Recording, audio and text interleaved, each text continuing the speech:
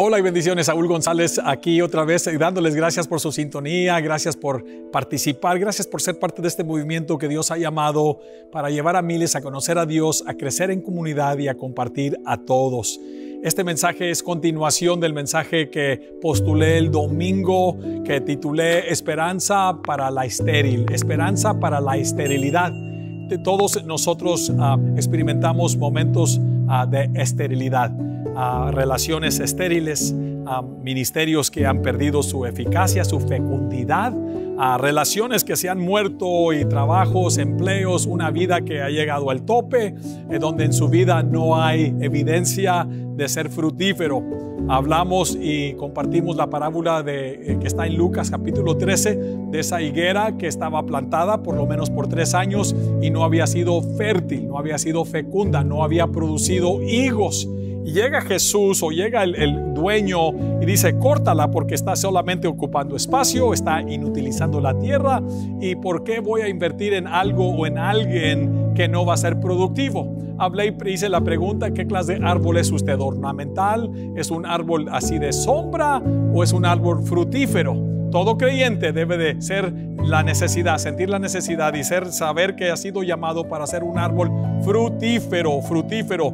Ah, Jesús mismo declara que por sus frutos lo conoceréis, que todo árbol bueno da buen fruto, todo árbol malo del corazón, de sus pensamientos del corazón, la evidencia, el fruto, la palabra, lo, las palabras que proceden, sus pensamientos son malos, porque un, árbol no puede ser confundido por su fruto, lo conoceréis y no solamente por cómo se ve o por su proyección, ah, sino por su fruto. ¿Qué clase de fruto está usted produciendo y qué clase de árbol es usted? Y llegamos a la cuestión sobre con respecto a qué son algunas causas raíces que producen infertilidad, que, que lo hacen a usted infértil porque esta parábola nos lleva primero a cada uno, a Dios nos hace responsable de examinar nuestra propia vida. Cada uno debe de permitir la introspección o la inspección del Espíritu Santo que llegue a nuestro corazón y ser honestos, ser honestos con nosotros mismos e identificar aquellas áreas infértiles, estériles, que no están produciendo ah, y que no hay una diferencia en nuestras vidas. Segundo, Dios no quiere cortarte, sino despertarte y usarte. el, corazón de Dios en esta parábola no es simplemente eliminar, sino el trabajar en su corazón, el darte a usted tiempo para ser honesto, hacer un inventario honesto y permitirle a Dios el tiempo y el espacio y la oportunidad en su corazón de hacer cambios Ah, de usted canalizar sus esfuerzos en una forma más intencional, especialmente con respecto a ser un líder, uh, disculpe, con respecto a ser una persona es más que un, creyente, de ser un creyente que pasa usted a ser un seguidor de Jesús y luego que usted llega a ser un discípulo, un discípulo que se atreve y le cree a Dios para discipular, para influenciar a otros y para eso usted tiene que hacer cambios y canalizar esos esfuerzos y usted enfocarse en crecimiento y enriquecimiento ah, espiritual, crecer y enriquecerse espiritualmente. La intención de original, original de Dios es producción a través de comunión comunión y producción y, producción a través de comunión. Dios desea cuidar, cultivarte, transformarte para que seas ah, usado por Cristo para ser una rama frutífero. En Juan capítulo 15 Jesús nos dice que Él es la verdadera vid y mi Padre es el labrador. Todo pápano que en mí no lleva fruto lo quitará. Y todo aquel que lleva fruto lo limpiará para que lleve más fruto. Jesús sigue diciendo, permaneced en mí y yo en vosotros. Como el pámpano no puede llevar fruto por sí mismo si no permanece en la vida, así tampoco vosotros si no permanecéis en mí. Yo soy la vid y vosotros los pámpanos, el que permanece en mí y yo en él, este lleva mucho fruto, porque separaos de mí nada podéis hacer. Y luego dice en el versículo 16 de este mismo capítulo, vosotros no me elegisteis a mí, no me elegisteis vosotros a mí, sino yo os elegí a vosotros y os he puesto para que llevéis o vayáis y llevéis fruto y vuestro fruto permanezca, para que todo lo que pidieres al Padre en mi nombre, Él os lo dé quiero compartirles que este es el corazón de Dios, el que usted esté conectado con Jesús, su palabra en, en, usted y usted conectado en esa relación simbiótica con la palabra de Dios y juntos hay una fecundidad.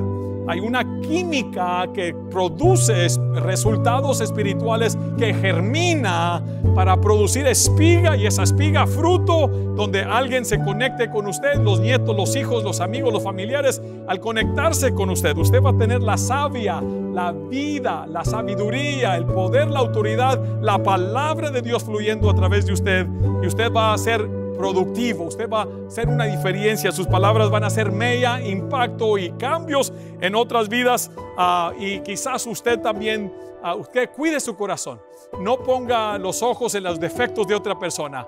Ah, dice Jesús en, en, una, en una parábola que por qué te fijas en la astilla que tiene el hermano y no te importa o no te das vista, no te das cuidado Ah, no te das cuenta de tu propia viga en tu propio ojo. Hay veces miramos la, la astilla y los defectos en otra persona, ignoramos los defectos personales cuando eso es lo que sucede en una persona que es hay una apatía espiritual e indiferencia con respecto a Dios. ¿Cuáles son algunas de las razones por qué causas raíces de la infertilidad?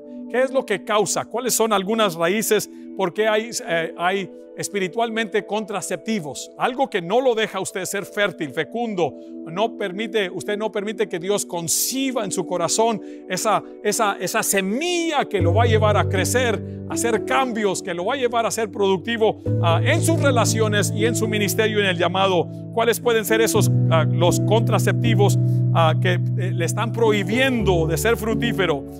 comience con pecado. Pecado es el más obvio, es el, lo que el enemigo usa, el pecado escondido, no confesado, no contrarrestado, también el pasado.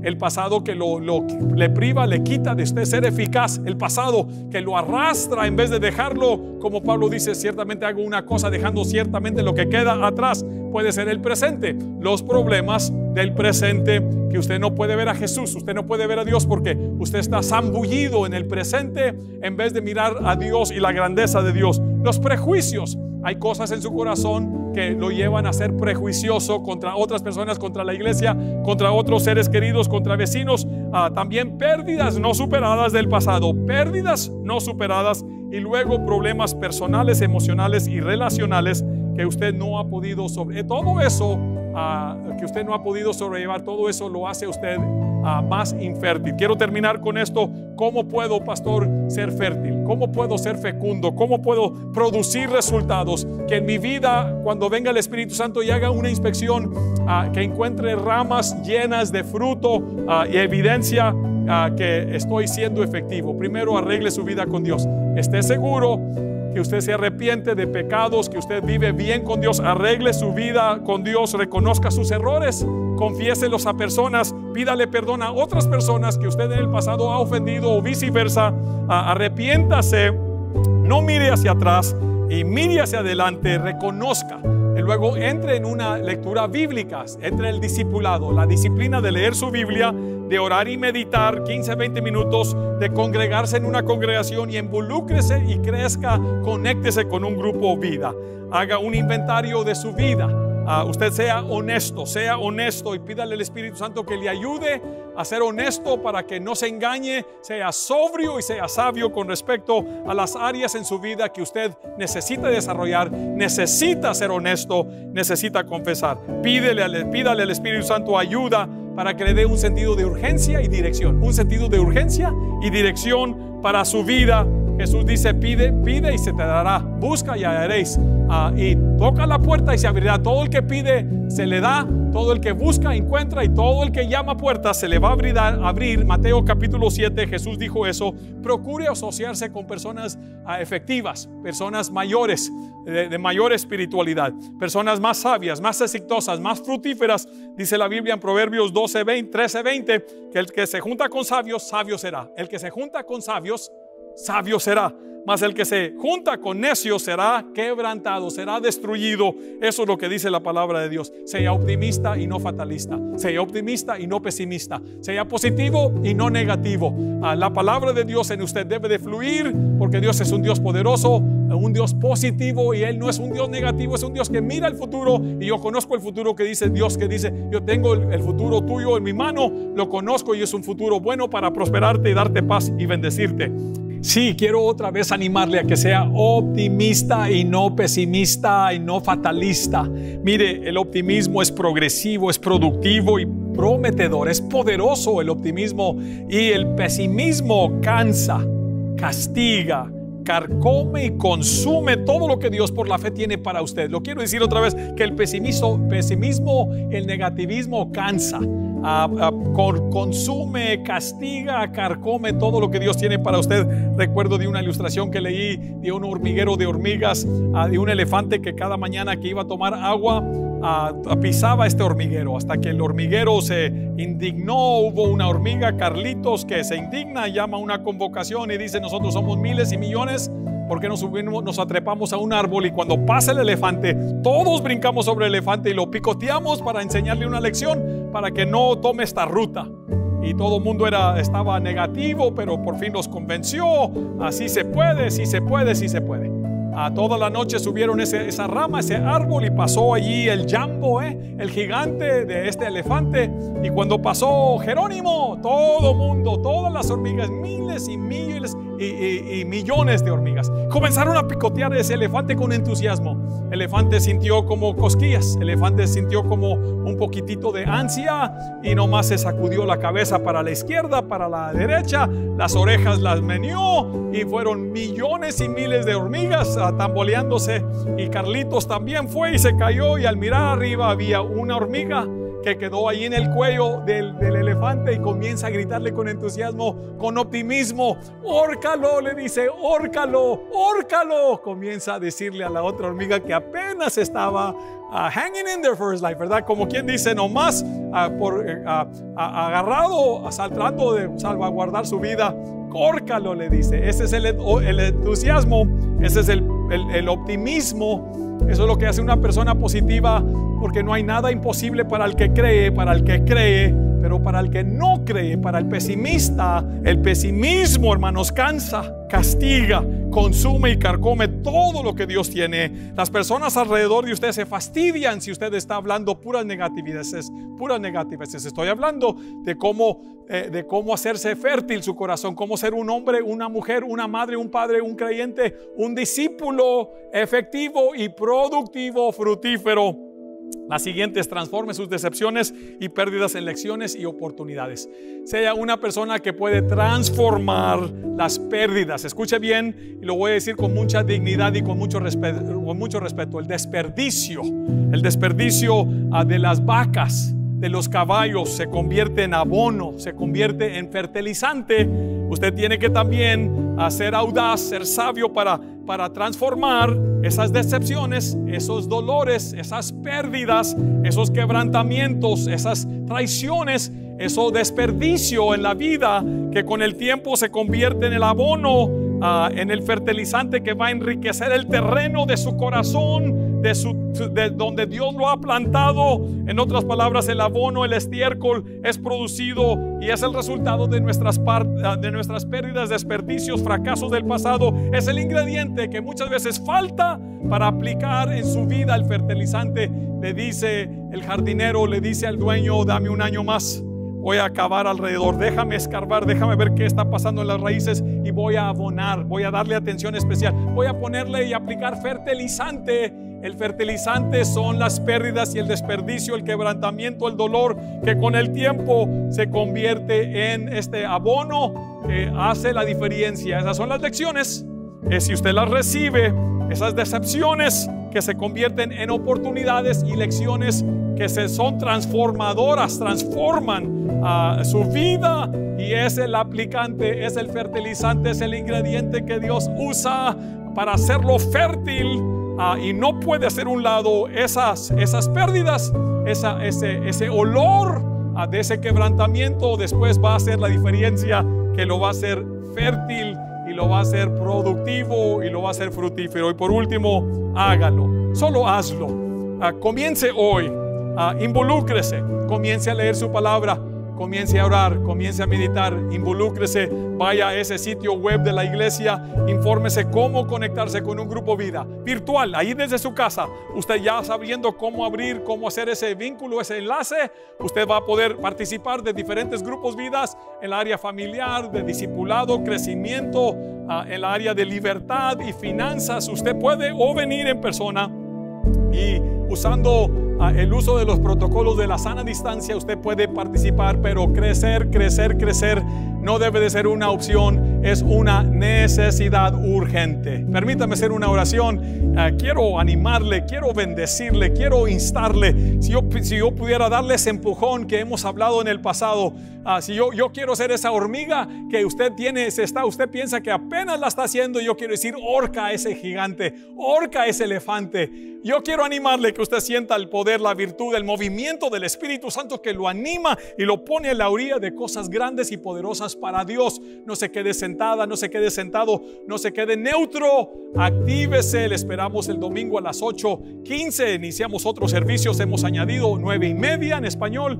ah, o a las 11 en inglés. Ah, traiga a su familia, venga y celebre. Estamos todavía usando la distancia, los protocolos para la seguridad de todo mundo, pero quiero decirle, este es el momento que usted puede animarse, que usted puede hacer un examen honesto de su vida y decir, sí, me falta ser productivo. No sea usted y yo como la iglesia en Apocalipsis capítulo 3 de que solamente tenía un nombre de que vive, pero estaba ya muerta y le dice, afirma las cosas que están para morirse, afirme esa disciplina, esa lectura, otra vez regrese a la lectura, otra vez regrese a la oración, otra vez regrese a la iglesia, otra vez regrese a ser un dador que da con su corazón y con alegría, regrese otra vez a grupos vidas y antes lo hizo y quizás no fue la experiencia que usted esperaba, otra vez reafirma esas cosas que son útiles, que lo van a hacer fecundo, fértil, productivo, fructífero, afirme las cosas. No permita que se muera esas disciplinas espirituales como es la lectura de la palabra. Ah, comparta lo que usted está leyendo en la casa de un servidor y, de Linda. Estamos leyendo en las noches o cada otra noche, cada dos, tres noches, leemos un capítulo, ah, lo platicamos con, la, con los hijos, que lo escuchen. Y yo pregunto, a la, comenzando con la más pequeña, ¿qué piensas? ¿Qué es lo que aprendiste? ¿Qué es una verdad? ¿Cómo se puede aplicar? Y cada quien está pensando qué hacer de esa historia o de esa porción bíblica. Y cada quien al terminar, termina la hermana linda y luego yo hacemos una oración. A veces le pedimos a los chiquillos, a los niños, que ellos oren a su nivel. Y todo mundo está participando de un momento, de un altar familiar no es, ah, es, no es ah, fácil, pero no es imposible. Quiero decirlo otra vez, es más fácil de lo que usted piensa. Es, es el asunto de tener el nervio. Tenga el nervio, comiéncelo a hacer y luego después se convierte en una rutina, se convierte más fácil entre más lo practica y luego ore, medite, llegue, adore y celebre con nosotros. Permítame hacer esta oración. Señor, bendigo a tu pueblo. Bendigo a cada persona en el nombre de Jesús para la gloria de Dios de ir más allá de la esterilidad, más allá de la infertilidad, más allá del estar hueco, vacío, apático, indiferente. En el nombre de Jesús, sacudas ese polvo. A que al llegar Jesús, al llegar el Espíritu Santo y hacer una inspección, haya fruto, haya fruto, evidencia de que usted vida está marcando el paso, una diferencia y usted está bendiciendo, fortaleciendo, animando, inspirando a otros en el nombre de Jesús. En el nombre de Jesús, sea fértil. Para la gloria de Dios lo decreto, lo declaro en el nombre de Jesús.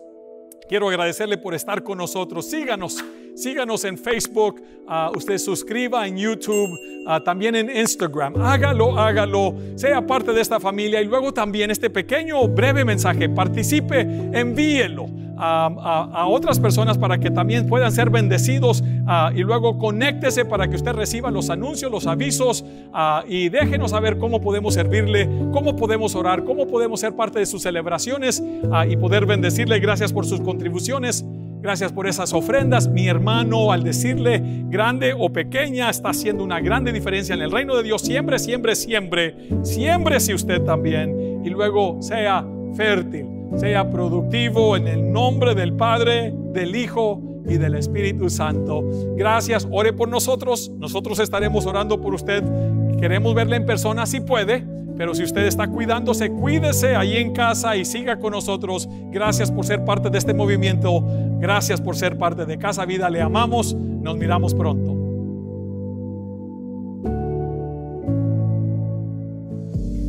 Muchas gracias por acompañarnos en línea. Estamos tan agradecidos de poder adorar juntos, a pesar de estar separados por la distancia. Me gustaría desafiarte antes de cerrar esta transmisión y pedirte que respondas a las siguientes preguntas. ¿Qué fue lo que te habló Dios hoy? ¿Hay algo que Dios te esté llevando a donde podamos ayudarte? Una vez más, nuestro deseo es animarte a dar tu siguiente paso en este camino de fe.